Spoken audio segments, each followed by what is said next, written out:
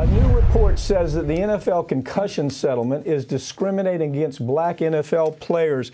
Wow. You talk about a subtle kind of discrimination that's costing these folks money. Let me, first of all, a dear, a, a very good friend of mine, a lawyer named Chris Seeger, put this settlement together. He did not include in the settlement anything about what the NFL is doing here. Take it from there. Yeah, the NFL had set up all these criteria, you know, to test do you really have CTE? Did you have enough concussions to impair your life? And if you did, sure, you get the money. But what we found out now through this ABC investigation of all places, I was shocked they did this, oh, but glad too. they did. Um, they found that you've got black former NFL athletes saying we're being denied because even though we show cognitive impairment, they're saying, well, because you're black or because you grew up in this area, you were going to have cognitive impairment anyway. So you don't meet the criteria to get a settlement from this. It, it's, it's obscene. It's, yeah, they call it demographic correction. That's the word, demographic correction. All it is is racism. Yeah.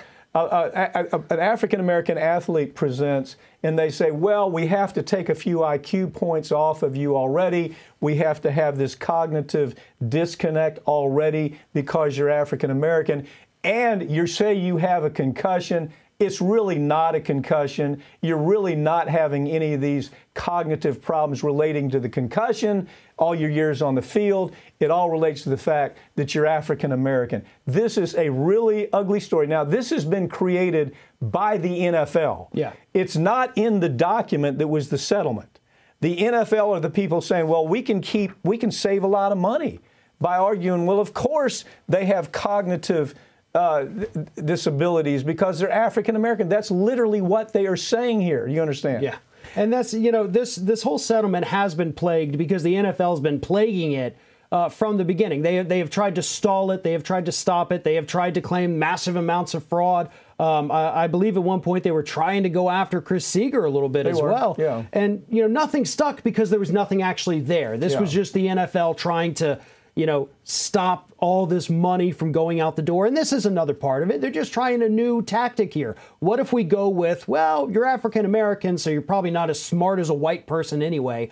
That's the bottom line of what they're doing. That's exactly what they're doing. Yeah. I mean, you you put into words exactly what they're doing to these athletes.